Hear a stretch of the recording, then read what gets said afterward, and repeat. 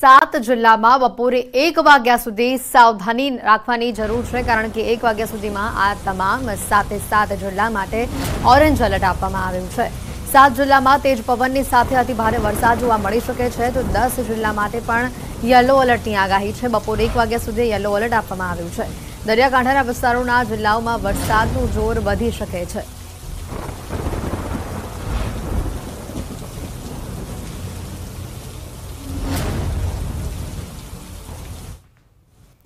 રાજકોટ જિલ્લાના ધોરાજી તાલુકાના હળમતિયા ગામમાં ધોધમાર વરસાદ થયો. હળમતિયા ગામમાં વહેલી સવારથી જ વાદળછાયું વાતાવરણ જોવા મળ્યું અને ધોધમાર વરસાદની શરૂઆત થઈ. ધોધમાર વરસાદના પગલે નદી નાળાઓ, ચેકડેમો છલકાયા. હળમતિયા ગામ ધોધમાર વરસાદના પગલે ધરતીપુત્રોમાં આનંદની લાગણી પણ જોવા મળી.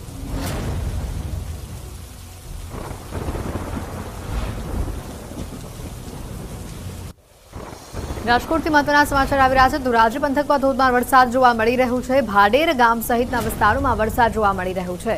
આ વરસાદને લઈને નદી નાળા ચેકડેમો છલકાયા છે. ખેતરોની અંદર પણ પાણી ભરાયા હોવાના કેટલાક દ્રશ્યો સામે આવી રહ્યા છે.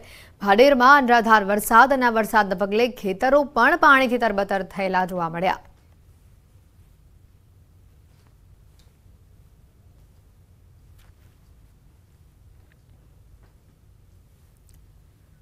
સમગ્ર રાજ્યમાં વરસાદી માહોલ જામેલો છે અને ત્યારે રાજકોટના ઉપલેટાના ગ્રામ્ય વિસ્તારોમાં ભારે વરસાદ જોવા મળી રહ્યું છે. લાઠ ભીમોરા મજેઠી સહિતના ગ્રામ્ય વિસ્તારોમાં વરસાદ જોવા મળી રહ્યું છે. વરસાદ થતા બાળકોએ વરસાદમાં નહાવાની મજા માણી ગ્રામ્ય વિસ્તારોમાં ભારે વરસાદને લઈને રોડ ઉપર પાણી વહેતા થયા. આ વરસાદને લઈને કપાસ, મગફળી, સોયાબીન સહિતના પાકનું વાવેતર કરેલ ખેડૂતોમાં ખુશીનો માહોલ જોવા મળ્યો.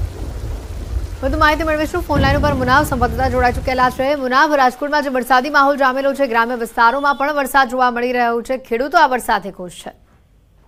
ચોક્કસથી એટલી વાત કરવામાં કે ઉપલેટા ગ્રામ્ય વિસ્તારમાં સવારથી જ વહેલી સવારથી ભારે વરસાદ. ગ્રામ્ય વિસ્તારમાં લાટ, ભીમોરા, મજેટી સહિત ગ્રામ્ય વિસ્તારમાં ભારે વરસાદ પડી રહ્યો છે. ગ્રામ્ય વિસ્તારમાં ભારે વરસાદ લઈને રોડ રસ્તાઓ પાણીમાં વહેતા થયા હતા. ગ્રામ્ય વિસ્તારમાં વરસાદને લઈને કપાસ, મગફળી, સોયાબીન સહિત પાકોને ખેડૂતોને મોટા ચોક્કસપણે ફાયદો થશે.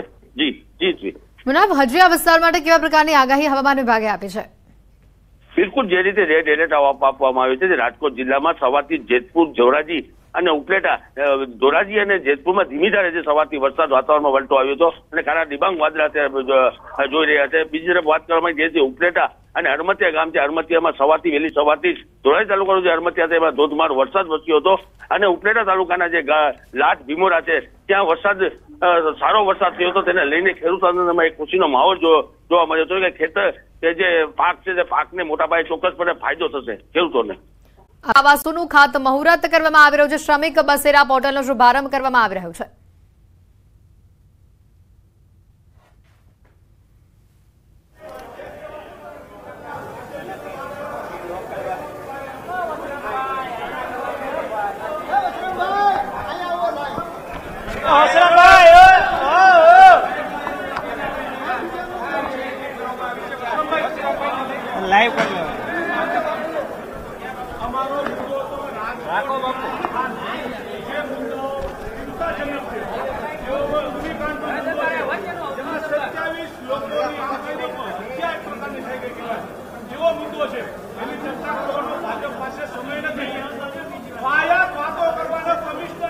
સ્ટેન્ડિંગ ચેરમેન શ્રી દેવાનભાઈ દાણી પક્ષના નેતા શ્રી ગૌરાનભાઈ પ્રજાપતિ દંડક શ્રીમતી શીતલબેન ડાગા અધિક મુખ્ય સચિવ શ્રી અંજુબેન શર્મા શ્રમ આયુક્ત શ્રી અનુપમ આનંદ કલેક્ટર શ્રી તથા ઉપસ્થિત અધિકારીગણ ચૂંટાયેલા જનપ્રતિનિધિ સંગઠનના પદાધિકારીશ્રીઓ શ્રમ શ્રમ- સૌ શ્રમયોગી ભાઈઓ બહેનો પ્રેસ મીડિયાના મિત્રો સૌને મારા નમસ્કાર.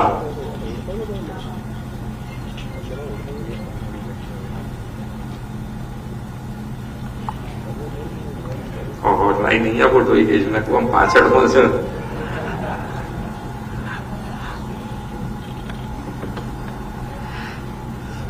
વિશ્વ નેતા અને સર્વાધિક લોકપ્રિય નેતા. આદરણીય વડાપ્રધાન શ્રી નરેન્દ્રભાઈ મોદી હંમેશા ગરીબ કલ્યાણ અને સેવા સુશાસનને પ્રાથમિકતા આપી છે. મોદી સરકારની દરેક યોજના કેન્દ્રમાં સામાન્ય માનવી, ગરીબ વર્ગનો જ ખ્યાલ રાખવામાં આવે છે. આવા કરોડો સામાન્ય પરિવાર, શ્રમિકો, મજદૂરોના આશીર્વાદથી આદરણીય નરેન્દ્રભાઈ સતત ત્રીજી વાર વડાપ્રધાન તરીકે દેશની સેવામાંની તક એમને મળી છે.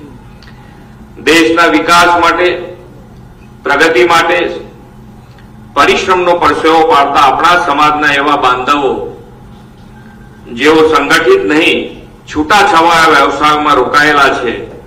અને છતાં દેશની પ્રગતિનો આધાર છે એવા શ્રમિકોને કલ્યાણ યોજનાનો લાભ આપવો એ સરકારનું દાયિત્વ બને છે.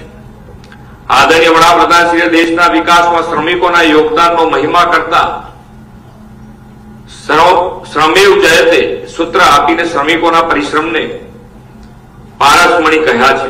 ભારતીય જનતા પાર્ટીની કેન્દ્રની સરકાર હોય કે રાજ્યની સરકાર હોય, પંડિત દીનદયાળજીના હર હાથ કો કામ, હર કામ કા સન્માનના મંત્ર સાથે શ્રમિક કલ્યાણ માટે પ્રતિબદ્ધ છે. ગુજરાત દેશનું ગ્રોથ એન્જિન બન્યું છે તેમાં બાંધકામ શ્રમિકોનો ફાળો પણ અમૂલ્ય છે. મોટા બિલ્ડિંગ, ભવ્ય ઇમારતો ઇન્ફ્રાસ્ટ્રક્ચર ઉદ્યોગ માટે ફેક્ટરીઝ દરેક નિર્માણ ક્ષેત્રના પાયામાં શ્રમિકોનો પરસેવો રહેલો છે. અને સંગઠનનું સૂત્ર છે, પથ અંત્યોદય, પ્રાણ અંત્યોદય અને લક્ષ્ય અંત્યોદય.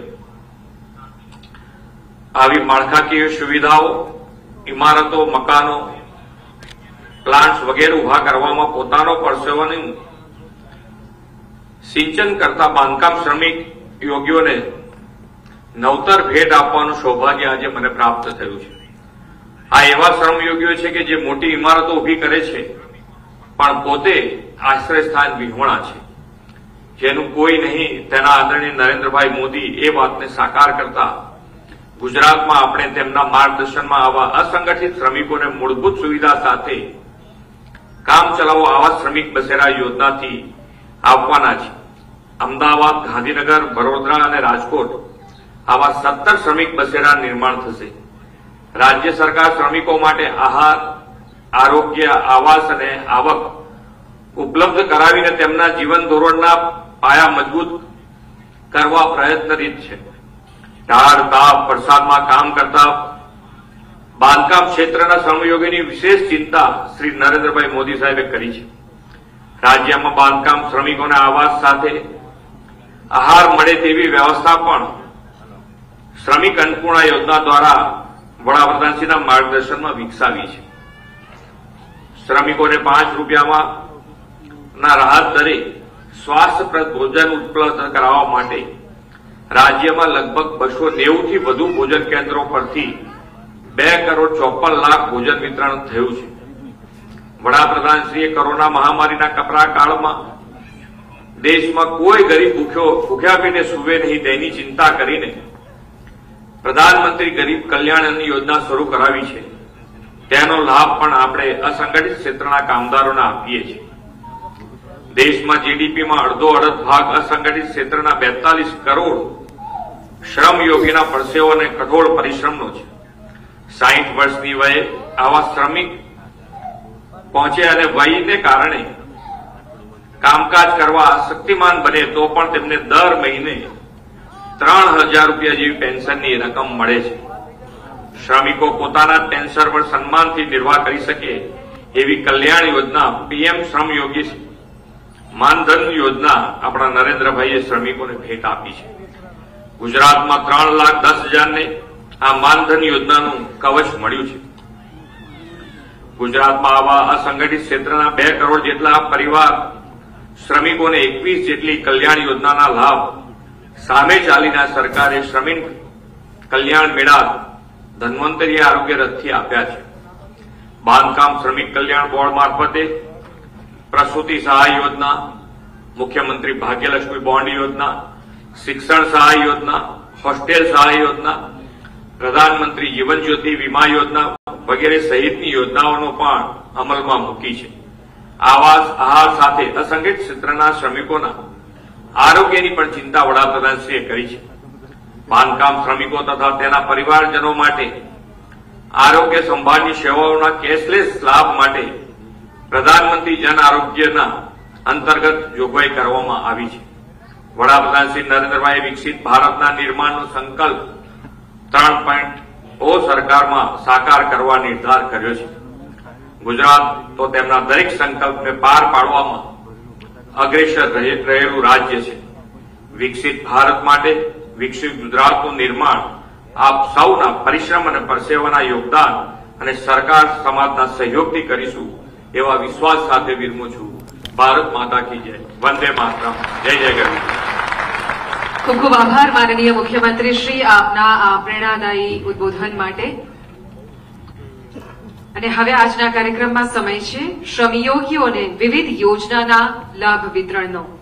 આજે આ મંચ ઉપરથી માનનીય મુખ્યમંત્રી વરદ હસ્તે શ્રમિકો માટે આવાસોનું ખાતમુહૂર્ત કરવામાં આવ્યું. શ્રમિક બસેરા પોર્ટલનો શુભારંભ કરવામાં આવ્યો. અમદાવાદના જગતપુરમાં શ્રમિક બસેરા યોજના પંદર હજાર શ્રમિકો માટે હંગામી આવાસોનું ખાતમુહૂર્ત કરવામાં આવ્યું. પંડિત દીનદયાલ ઉપાધ્યાય હોલ ખાતે બોડકદેવ ખાતે સીએમ ભૂપેન્દ્ર પટેલના હસ્તે આ ખાતમુહૂર્ત કરવામાં આવ્યું.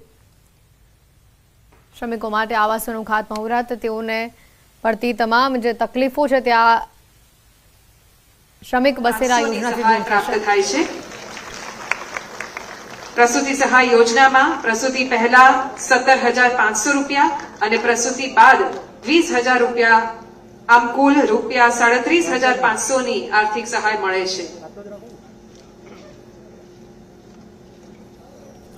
ત્યાર પછી રાજેશભાઈ દેવજીભાઈ મહેરિયા પરિવહન યોજના અંતર્ગત તેમને પાસની રેપ્લિકા અત્રેથી પ્રાપ્ત થાય છે.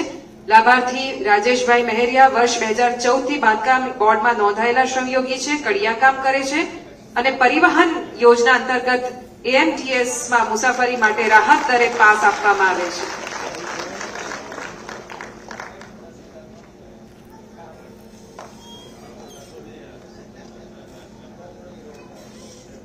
સુરેશભાઈ, પ્રભુભાઈ પ્રજાપતિ, તેમને પણ પરિવહન યોજના અંતર્ગત પાસની રેપ્લિકા પ્રાપ્ત થાય છે. સુરેશભાઈ વેલ્ડિંગનું કામ કરે છે અને બે હજાર ત્રેવીસથી નોંધાયેલા શ્રમયોગી છે. તેઓ નરોડા ખાતે રહે છે. એએમટીએસ આ પાસ. ત્યાર પછી હિત મહેન્દ્રભાઈ મેઘાણી. લાભાર્થી મહેન્દ્રભાઈ મેઘાણી વર્ષોથી ટાઇલ્સ ફિટિંગનું કામ કરે છે અને તેમના પુત્ર હિતને બીઈઆઈટીના અભ્યાસ માટે રૂપિયા પચાસ હજારની શિક્ષણ સહાય આપવામાં આવે છે. વિદ્યાર્થી institute of technology and research centre Kalol ખાતે અભ્યાસ કરે છે. ત્યાર પછી યશિતા, પંકજકુમાર પંચાલ. પંકજભાઈ વર્ષોથી કડિયા કામ કરે છે. અને બે હજાર ચૌદથી બોર્ડમાં નોંધાયેલા શ્રમયોગી છે. તેમની દીકરી યશિતાને બીફાર્મના અભ્યાસ માટે રૂપિયા પચાસ હજારની શિક્ષણ સહાય આપવામાં આવે છે. ત્યાર પછી મીના કનુભાઈ રાવત. લાભાર્થી કનુભાઈ બાંધકામ ક્ષેત્રે કામ કરે છે અને તેમની પુત્રી મીનાને ધોરણ દસમાં નિવાસી શાળા અભ્યાસ માટેની સહાય રૂપિયા સોળ હજાર પાંચસો પ્રાપ્ત થાય છે.